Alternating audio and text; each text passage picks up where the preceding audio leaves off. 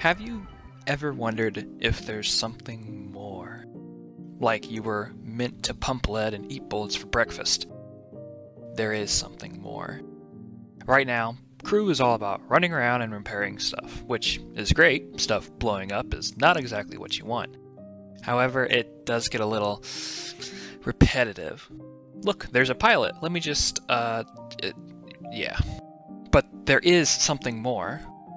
At the beginning of the match, a team with great pilots means there's there's no reason for crew. That's the harsh reality for all you crew mains. You are practically worthless the first 5 minutes of the game with a stacked roster of pilots. There will always be the straggler, and yeah, someone's got to deal with them. But the main crew action happens later in the round when you're neck and neck with the enemy Zeppelin. Not only is crew practically meant for cannon and AA usage, but when the going gets tough and that tank is 1 HP, that's your time to shine. But th there is something more.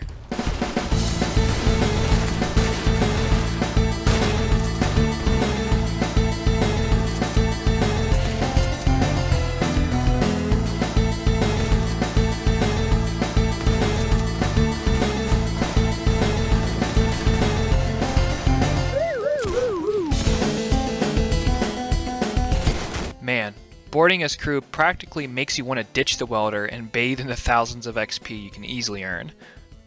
But what does it mean to play offensively? Basically, the days of mindlessly holding left click are gone. When that enemy Zeppelin gets near, all it takes is good positioning and the tap of the spacebar, and you can easily hop on. Now you just wreak havoc and kill all in sight. While this may seem fun for the trigger happy, it's also practical. The main argument you will hear about wide aboard is to protect those pilots' bombs. While yes, those bombs will certainly help in your victory, there's something a little more dire to deal with, and that's the cannon aiming right at your field to- Oh my god! When you board as crew, you're meant to kill. Why? Because those victims are usually one click away from making you rage quit after losing both your tanks in the span of a couple seconds. Boarding as crew means you keep the enemy busy, keep them off their cannons, and keep them away from their plane spawners. In this video we will go over the most effective way to board an enemy Zeppelin, the best combos for doing so, and some general tips and tricks to warrant playing this way over the general crew defensive class. Now, why would you even want to board the enemy Zeppelin? Sure, shooting people is fun, but at the end of the day, they will respawn and go back to what they were doing just 10 seconds ago. Boarding as crew does have big impacts on the match, mainly because you are stalling for time. Your goal is to kill other crew on cannons, AA, or crew that are repairing structures. But what they are also capable of doing is killing pilots attempting to spawn planes. Being able to hold off pilots trying to spawn planes, even if it's just for 30 seconds, leaves a massive window for your planes to be able to bomb, shoot, and restock without worrying about a stray fighter plane. Rocket planes are becoming increasingly common in cannon warfare since they can easily kill cannoneers. Giving your cannoneers some breathing room is something they will most surely thank you for. The average crew setup for Zeppelin Wars has only one guy actually running around and doing repairs, rarely two. If you can charge onto the enemy Zeppelin and hold off the few crew trying to re actually repair that flaming back tank, leaves a massive window for your planes and cannons to finish it off. This is the same for ammo boxes. Holding off the enemy from being able to repair is very practical. This leads to the main point of playing offensively. You want to keep the enemy busy. They're busy dealing with a madman running around with a pure gold shotgun, blowing half the crew's brains out. Then that keeps them from doing game-winning stuff, like torp sniping and tank repairing. Obviously, there is a strategy to it, rather than just blindly boarding and killing. The first thing you always want to do before dedicating yourself to jumping over is thinking, is it worth it? This video isn't meant to undermine the crew class in general. In fact, I've made an entire guide on how to play crew. Crew is still important during times where you could play offensively, and sometimes you gotta put down the shotgun and pick up the wrench.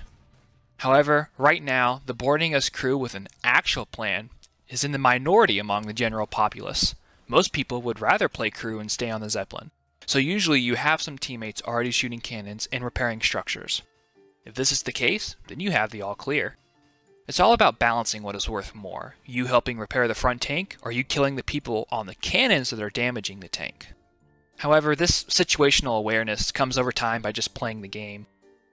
Zeppelin Wars is usually a game with high risk and high reward, so even if your Zeppelin is turning into a barbecue cookout, jump on over and do what you can, and hope the rest of your crew are competent enough to grab a fire extinguisher.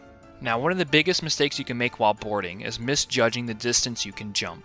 So many times do players do their little battle cry and jump just to completely miss the Zeppelin. Before you jump, there are some things you have to consider. You are on a moving Zeppelin, trying to jump onto another moving Zeppelin. It might look like you can make it, but as soon as you are no longer touching your Zeppelin, you'll feel a thousand times slower. And if the enemy Zeppelin starts to turn away, what you could have made a couple seconds ago has now turned you into chum. So yeah, definitely um, Look before you jump. Once you manage to land on the Zeppelin, if you've already been spotted, then the hordes of Mordor will be upon you. Try to take cover in a doorway or behind a pillar and kill enough enemies until it's safe to move to a tactical position. Remember, your job is to prevent the enemy from dealing damage to your Zeppelin. If you're holding out above the back tank, then quickly move down into the tank room and prevent pilots from spawning planes. If you are on the deck, make your way to the lower deck and clear the cannoneers then head back up to the top deck or hide in the back tank room. Rinse and repeat. Just make sure to know when to reload and time heading to ammo boxes with the enemy respawning. Some of my personal favorite weapon combos really depend on the situation I'm in. Take this for instance. We were riding alongside the enemy Zeppelin, and boarding was becoming difficult since their entire team was crew. Rifles would be good here, but I was expecting to find an opening to board soon, and rifles aren't that good in close quarters. So I went with my namesake, the Superposed. I had both range and close quarters with the Superposed, and, well, I'll let you see for yourself how that turned out.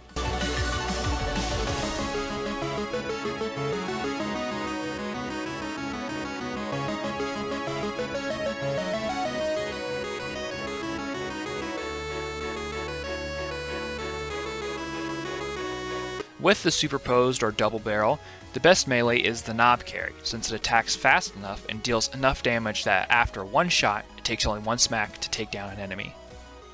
Best weapon for boarding and general purposes is just stock shotgun. It can easily take down an enemy across the deck in like two shots. So it's got decent range and of course excellent close quarter capabilities.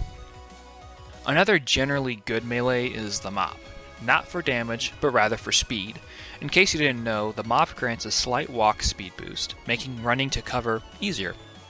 The other melees are, in my opinion, redundant with a shotgun, since you are literally holding a weapon that can one-shot in the range a melee can hit. Utility weapons like the flag and mop are better suited. Boarding with a rifle is trickier. If you can hit your shots, using the double barrel superpose is more worth it since you get more of a bang for your buck. With rifles, it can be decent to hold off the enemy at a range, kind of like playing defensive on an enemy Zeppelin, rather than offensively with a gun you can charge with. With those general usage factoids out of the way, the best loadout, in my opinion, for boarding is simply shotgun, mop, wrench, for your own quick Zeppelin repairs, and net gun. Sabotaging cannons is your way to deal damage to the Zeppelin when you're boarding.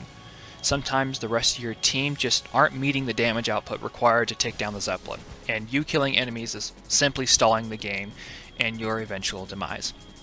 You'll have to take matters into your own hands, and sabotaging is your way of doing so. Sabotaging is risky, however. You put down all your weapons to use a welder or wrench to sabotage a cannon, and you also are, most of the time, facing away from the enemy to do so. I've stated this in previous videos, but you cannot sabotage unless you have decent control over the enemy Zeppelin.